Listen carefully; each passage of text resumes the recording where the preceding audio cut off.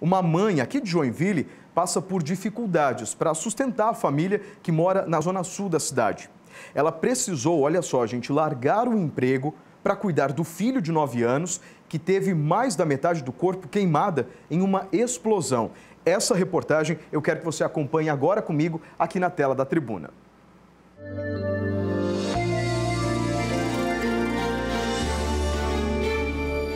Ao lado do filho, Rosimari relembra bastante emocionada o susto que passou em julho do ano passado. Os três filhos dela brincavam de bola e fizeram uma fogueira na frente de casa. Um chute mais forte de um deles foi suficiente para que a bola batesse em uma garrafa de álcool, que foi parar no fogo. Mateus, de 9 anos, foi atingido pela explosão e teve mais da metade do corpo queimada. A hora sim, não imaginei que seria tanta coisa, né? Que foi queimadura de terceiro grau, gravíssimo, né? Eu pensei que ia perder meu filho, sabe? Ele ficou três meses internado, foram três meses assim angustiantes para mim.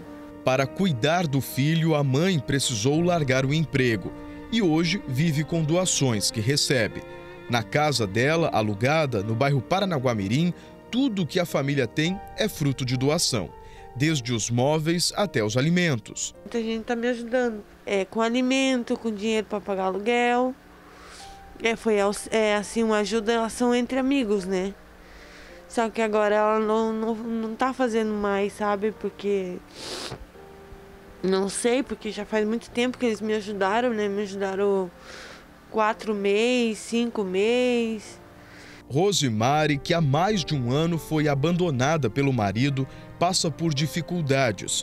O aluguel do imóvel está atrasado e ela não tem dinheiro para quitar a conta de água, a de luz e comprar comida para o filho que precisa de uma alimentação balanceada para se recuperar das queimaduras. Além disso, é enorme o gasto com remédios para a recuperação do menino. Vocês podem me ajudar com alimentos, assim, produtos de limpeza, né? É, para mim poder pagar o aluguel, água, luz, até eu poder voltar a trabalhar, né? Só acreditar em Deus, confiar e descansar em Deus, sabe? Descansar no Senhor porque não tem o que fazer.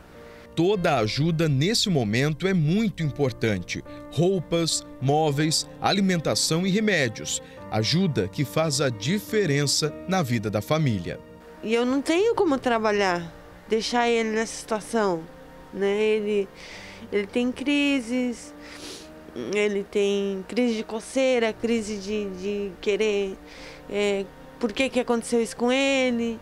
Que ele não quer viver mais, né?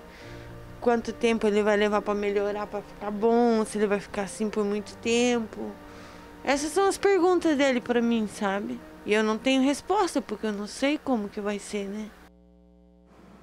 É, gente, que situação triste, né, dessa família. É o lamento de uma mãe, né? A gente nesse momento se coloca no lugar dela. Além disso, além do Mateus, de 9 anos, ali que a gente mostrou com o corpo, é, muita, muita parte do corpo ali queimada, a mãe também contou para a gente que o filho dela, de 20 anos, sofreu um acidente de moto no trânsito, ele também teve um problema no rosto, ela também está cuidando dele, então é muita carga em cima dessa mãe. E toda ajuda nesse momento é muito importante. Se você quiser contribuir, pode entrar em contato pelo telefone 99983 3664. E aí você vai falar diretamente com a Rosimari.